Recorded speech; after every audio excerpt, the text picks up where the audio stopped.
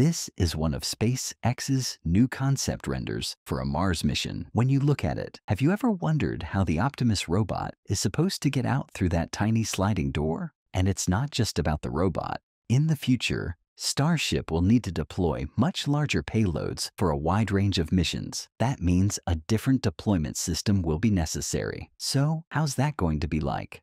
First, let's take a look at how Starship is currently designed to deploy payloads. The Starship payload bay contains several important components, including the nosecone, header tanks, forward flaps, and the payload deployment system, known as the PEZ dispenser. Inside, there are also several COPVs, or composite overwrapped pressure vessels, placed around the methane header tank to supply startup gas for the engines. Twelve more are located at the base of the bay. These tanks were recently involved in a catastrophic test explosion, but we won't focus on that now. As mentioned, the main topic here is the payload deployment system, the so-called PEZ dispenser. The PEZ dispenser is a system designed specifically to deploy Starlink satellites into low Earth orbit. It was first introduced on Ship 24, although the door remained sealed until the third flight. It is called the PEZ dispenser because it works similarly to the candy toy, pushing out one rectangular satellite at a time through a small opening. This system uses a sliding side door on Starship. It is not a large door, but it does not need to be. The satellites are stacked in a way that allows them to slide out smoothly, similar to how letters drop through a mail slot. The dispenser is mounted directly to the forward dome, and the door is opened using pistons that pull it upward.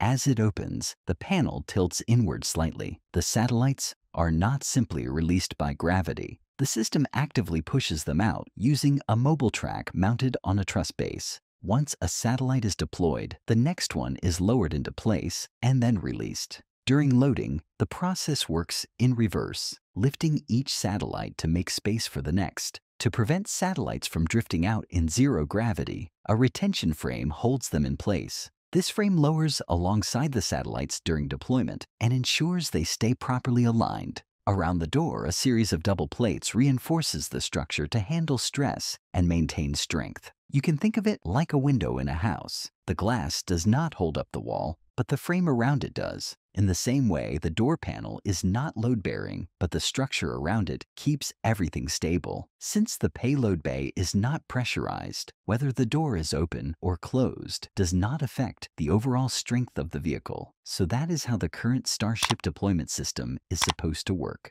Unfortunately, we have not yet seen it in action. The closest we got was during Flight 9 when the Block 2 ship made it past second engine cutoff but failed to fully open the payload door. It got stuck about halfway and never completed the deployment sequence. We still do not know the exact cause of the failure. One possibility is that metal structures, which are assembled under Earth's gravity, might shift slightly once they reach microgravity.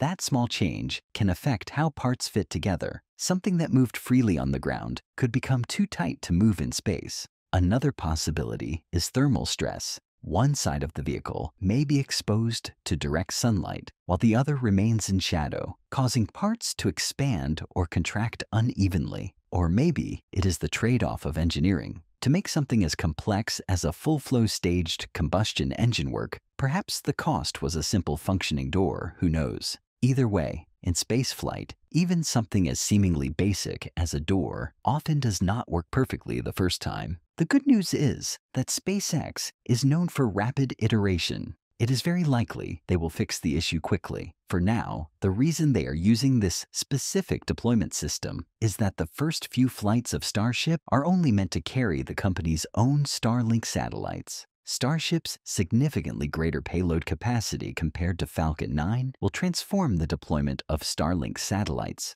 With the ability to deliver up to 100 tons or more to low Earth orbit, which is approximately 4.4 times more than Falcon 9, Starship can launch many more satellites in a single mission. This increase in capacity will dramatically improve deployment efficiency, enabling SpaceX to expand the Starlink constellation at a much faster pace. As a result, global broadband internet coverage will be achieved more rapidly, advancing SpaceX's mission to connect the world. But as the mission types grow more complex, SpaceX will develop new deployment systems suited for larger and more diverse payloads. To achieve this, most modern orbital launchers, like SpaceX's Falcon 9, place their payloads at the front of the rocket under a protective fairing. These fairings split in half and are ejected once the vehicle reaches space, exposing the payload for deployment. But with Starship, the goal is full reusability, so ejecting fairings is not an option.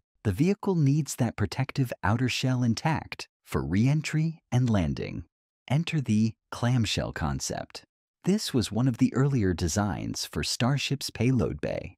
In historical renderings, from when Starship was still called the BFR, the vehicle featured a large clamshell-like door system, sometimes nicknamed the Chomper. This design resembled the Space Shuttle's payload bay and was capable of opening wide to accommodate large or bulky cargo such as satellites or station modules. In this setup, the payload is integrated inside the clamshell structure. The fairing remains closed through ascent, keeping the payload protected. When it is time for deployment, the clamshell doors open and the payload adapter tilts the payload outward at an angle to prepare for separation. The payload is then released using a mission-specific adapter. If the mission carries multiple satellites, a rotating mechanism can be used to position each one for safe deployment with maximum clearance. Once all payloads have been deployed and have cleared the area, the clamshell doors close again to prepare Starship for its return to Earth. So with this new deploy system, according to SpaceX's official Starship user guide, satellite customers have several options when booking a mission. They can fly a single spacecraft, organize their own rideshare for one Starship launch, or collaborate with SpaceX on a multi-manifest mission. This flexibility allows customers to tailor their mission according to their payload size, budget, and schedule. Thanks to the unique size and geometry of Starship's payload bay, new possibilities open up for payload integration. For spacecraft that require extra structural support, Starship can install mounting points along the sidewalls or inside the nose.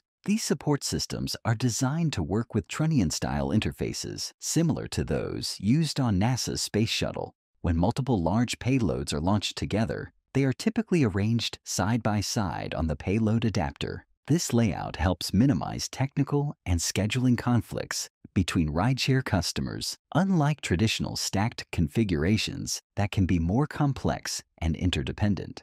To streamline operations, Starship will include built-in power and data interfaces that match common industry standards. This eliminates the need for customers to bring their own electrical ground support equipment during the final stages of launch preparation. Payloads will be able to receive power, monitoring, and command signals even after they are sealed inside the fairing, both while in the processing facility and on the launch pad. In some cases, these connections may even remain active during flight. SpaceX is expected to develop multiple Starship variants each tailored to specific mission types. For example, the HLS, Human Landing System variant, which is designed specifically for NASA's Artemis lunar missions. The HLS variant incorporates several mission-specific modifications. In addition to the standard clamshell payload doors, it features a large external elevator designed to transport astronauts and equipment from the crew cabin. Located high in the spacecraft's nose, approximately 30 to 50 meters above the lunar surface, down to the moon,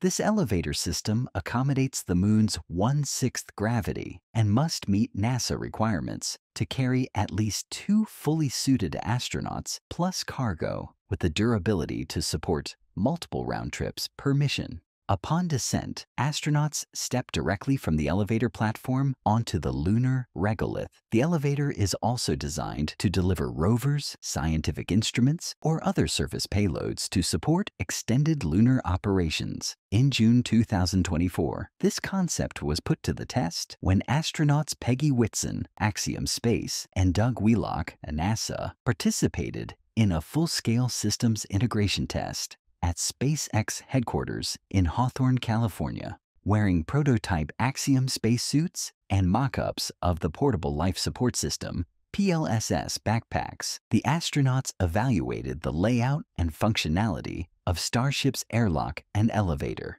The three-hour test was the most comprehensive of its kind since the Apollo era. It verified that the airlock and elevator systems could accommodate suited astronauts and allow for essential mission operations. The astronauts interacted with control panels to ensure they were operable while gloved and practiced boarding and riding the elevator, simulating egress and ingress procedures.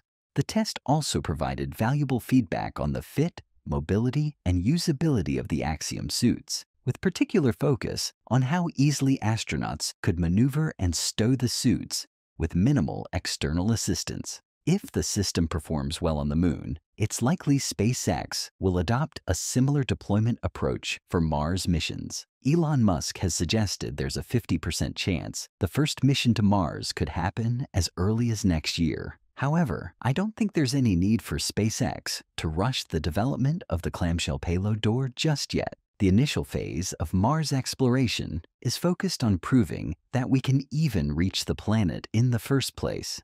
SpaceX plans to launch around five uncrewed starships during this phase. These early missions are all about maximizing learning, testing, and validating the critical technologies required for interplanetary travel, entry, descent, and landing on the Martian surface. At this stage, there likely won't be many high priority payloads to deploy. There's also a real possibility that none of the starships will stick the landing perfectly. The goal is data collection, not flawless execution. Once SpaceX has gathered enough data and demonstrated consistent landings, the next phase will focus on laying the groundwork for a future human presence. This will involve additional landers delivering larger payloads, around 20 tons each, including early infrastructure components. These missions will be crucial for confirming the availability of local resources, such as water ice, and for preparing designated landing zones for future crewed missions. Equipment deployed during this phase will support